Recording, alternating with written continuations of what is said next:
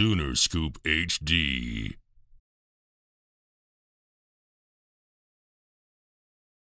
Get back and get back in the motion of things, uh, get back with the team.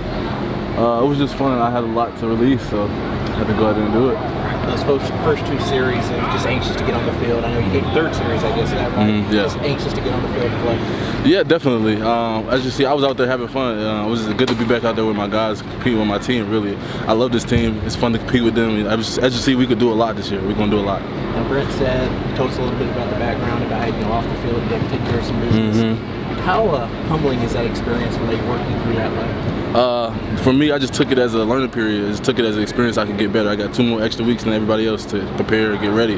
So all I did was stay in the weight room, stay in the playbook. So when I came back, it was like clockwork. Was it tough to accept? A little bit, but like you know, you got consequences in life, and you have to accept those consequences no matter what they are, good and bad. So that's what I did. You know, you took what you got and make the best of it. That's all I was thinking about. And what was it like watching Tyler? Uh, I was proud of the man. You know, he came in here and did what he had to do, and I was I was like, hey, he's doing his thing. You know, so you can only be happy when your guys doing their thing and you know performing as they should be. How easy was it transitioning back into playing? I mean, just after missing the first two weeks, and how do you feel like the chemistry was in the group overall in the first game? back? Uh, I thought it was really good. I thought on my pen I could have did a lot better. You know, there's always improvement to be made.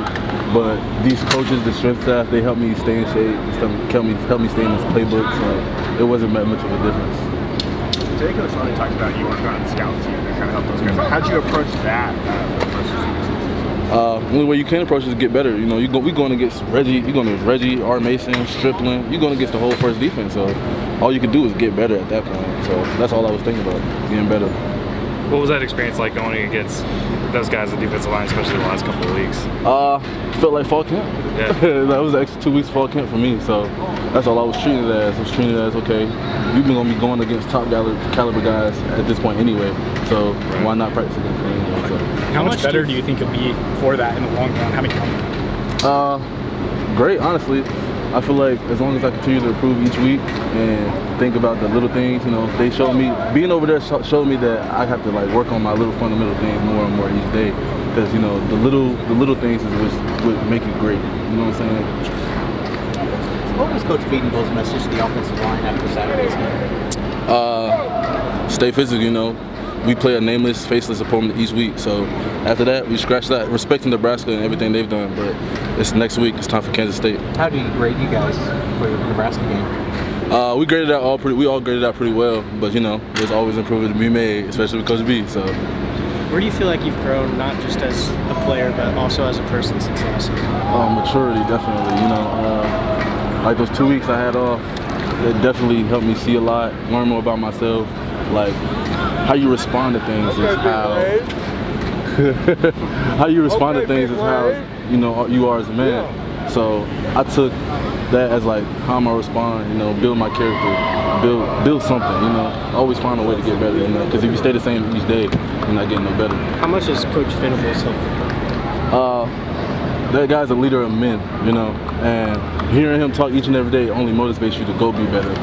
Uh, like he said, the enemy of success, no, the enemy of uh, success is boredom. Yeah, success is boredom. So when you find success, it's important to find the little things to keep going and keep finding things to work on. Because once you do things good, you think about, oh, okay, I don't have to do that no more. No, keep at it, keep doing it. You can always get better. You, you mentioned the need for improvement, uh, Mhm. obviously, but I mean the offensive line performance as a whole on Saturday. Did that feel like there was stuff, real stuff for you guys to build on, especially going into Kansas State this weekend? Well, for sure, uh, we really felt good running that ball. So that's something we're gonna build on. We gonna we take pride in. You know what I'm saying? You could control the line of scrimmage. You you can win the game right there. Do you? T- I mean, obviously the, the running backs, you know, running for over 300 yards. Do you take pride in that? You guys, as an offensive line, when you put up a number like that. Of course, like that play on the goal line when Marcus going in untouched, EG going in untouched. That that's that's we take pride in. Like we want to clear it up so we make their job easy. You know what I'm saying? So that's what we really take pride in. We take pride in just being that tough physical team up front. Did Did you learn anything in the two games you missed by like not being on the sideline, by being able to watch it? Did you get a different per uh, perspective? Uh, you almost watch it like a coach. You know, I'm sitting there watching it. Okay, I'm knowing the calls they make. I'm calling the calls like I'm staying engaged. You know, I'm taking vicarious reps. That's the biggest thing. These vicarious reps for me. That's why it was so easy for me to come back in.